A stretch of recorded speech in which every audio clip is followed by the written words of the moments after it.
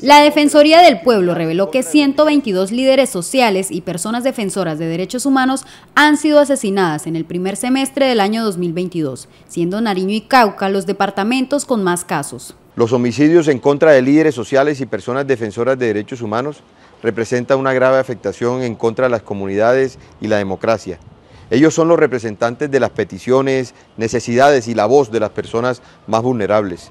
Por esta razón, debemos desde el Estado brindarle las garantías necesarias para el ejercicio de su labor, ya que es vital para garantizar el bienestar y los derechos humanos en las regiones. En el marco de la audiencia y presentación del informe de violencias contra líderes sociales, advierte que Cauca con 19 homicidios, Nariño con 17, Antioquia con 12 y Putumayo con 11 son los departamentos con el mayor número de casos en los que líderes y lideresas fueron asesinados. Rechazamos el accionar criminal en contra de los líderes sociales y personas defensoras de los derechos humanos.